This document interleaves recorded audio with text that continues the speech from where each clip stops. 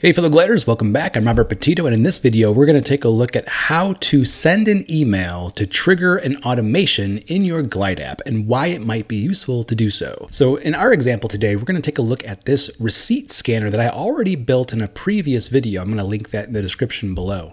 But in this particular app, in order to add the receipt to your app, you have to actually push a button, attach an image, hit submit, and then we have some AI that's looking at that receipt and parsing it out into some of the details that you see here in the list. In today's video, we want to save ourselves a step.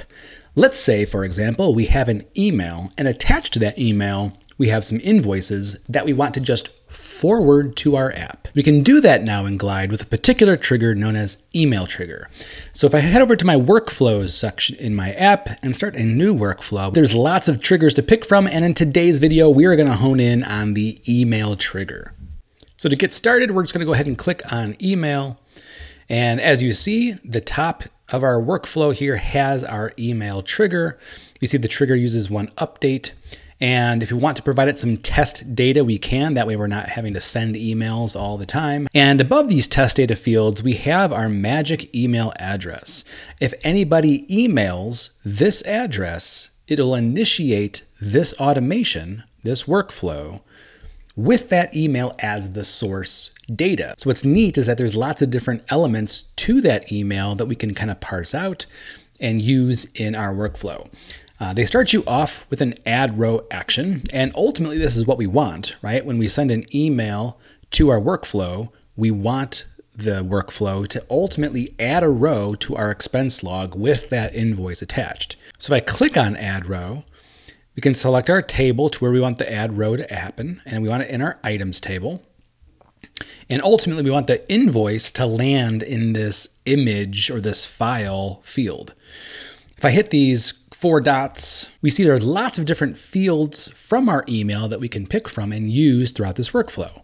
If you look carefully though, you're not going to see attachments in here. And attachments is what we really want for this particular workflow.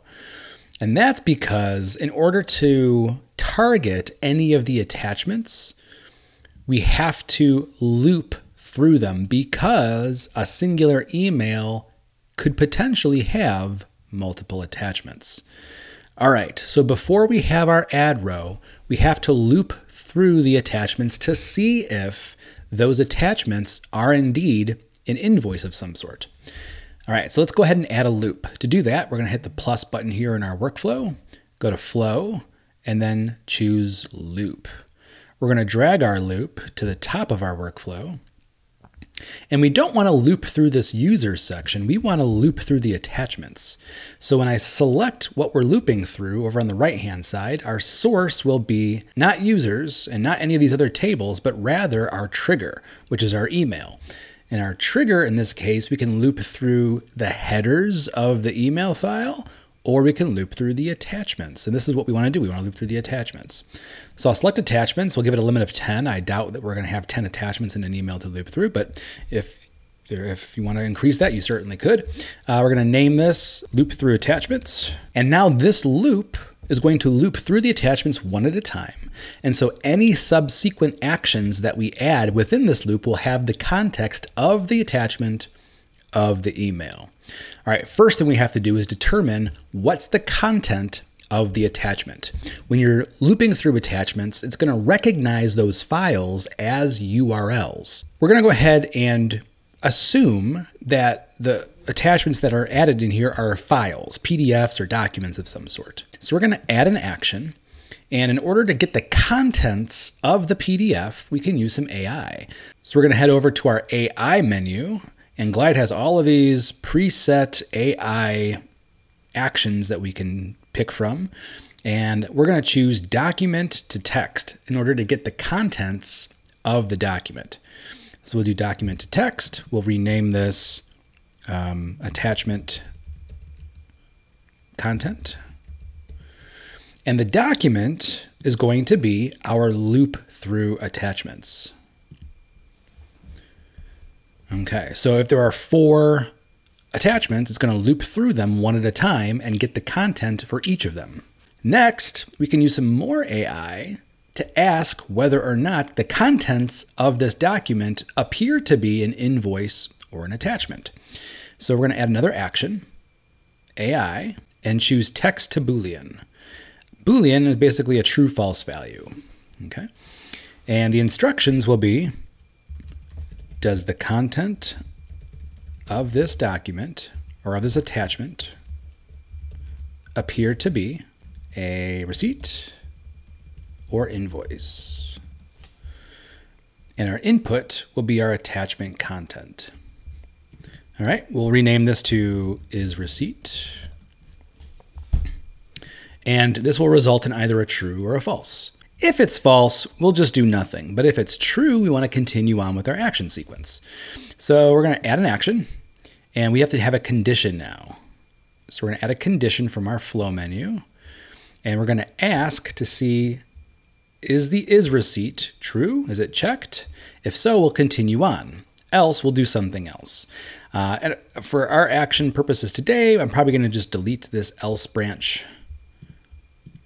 which means that if someone sends us an attachment and the or if someone sends us an email and there are multiple attachments and some of those attachments don't appear to be invoices, it'll just skip those and keep looping through the rest. Next, what we have to do is grab the invoice number of the attachment to make sure we're not re-adding something we've already added before. So we can use another glide AI column and we can do a generate text. The instructions will be extract the invoice number from this attachment. Um, then we want to make sure that it's not going to give us like all like the, the niceties like sure here's your invoice number and then give us something right so um, the little combination of text i like to use is no explanation, terse output. Terse means as short as possible. Okay. So ultimately, this is going to give us just the invoice number. Okay. Uh, and the input here will be our um, attachment content. And we'll rename this to be invoice number from attachment. So now that we have the invoice number, we need to query our existing items to make sure that it doesn't already exist in our database. That'll be like our little check. So we're going to add an action. We're going to search for query. We're going to do a query column here. And the query action, our source will be our items, and we're going to filter to where the invoice number of our existing receipts is and then we want the uh, invoice number from attachment. As long as the query is empty, meaning it didn't find a match, then we want to add the row. If it did find a match, that means that we've already added this receipt at some point and we shouldn't add it again. So we need one last condition. So I'm going to add another condition here. And we're going to say if our query is empty, then we'll finally add this row else we'll do nothing. We can just delete the else branch here. Okay, we're going to add items, and the image that we're going to add here is the attachment. So that's going to be our trigger, sorry, our loop through attachments here. All right, and this should satisfy now the complete action in order for me to forward an invoice or a receipt to the app and allow it to add it automatically to our database. Let's give it a test.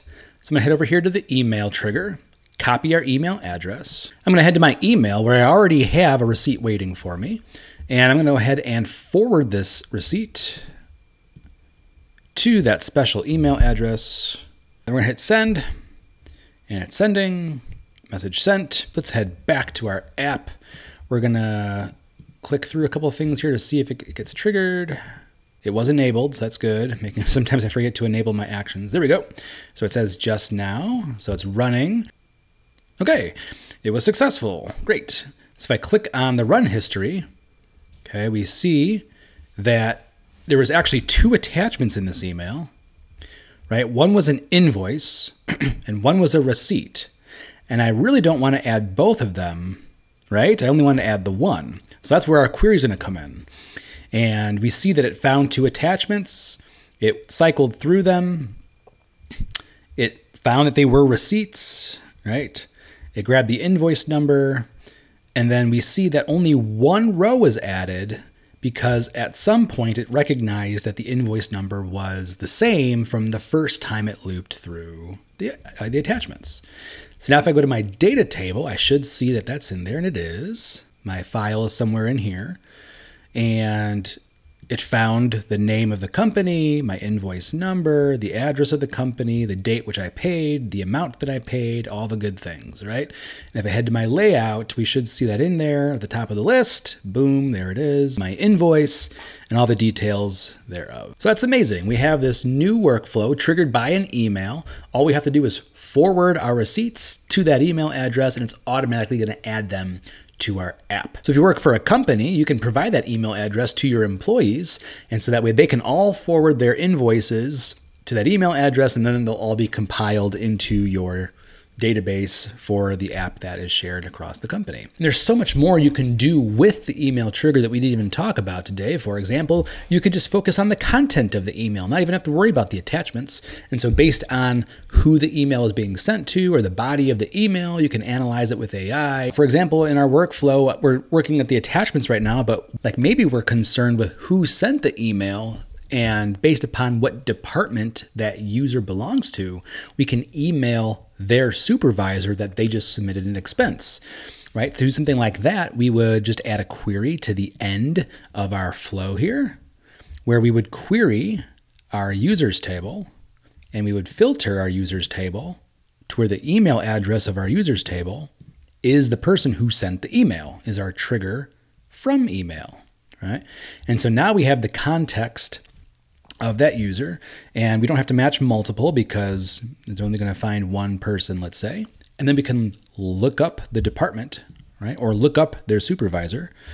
So if we did a lookup, right, we could look up into that user and grab their um, their role or their department or their supervisor's email. Let's say, let's pretend this is their supervisor's email, and then we could then send a new email to the lookup of the email, our subject could be new expense, and in our body, we could say, hey, so and so just submitted an expense, go into the app to approve it. So, again, a lot you can do here just based off of a singular email trigger. If you have any questions on how to use the email trigger in your own app, feel free to leave me a comment below. And as always, thanks for watching.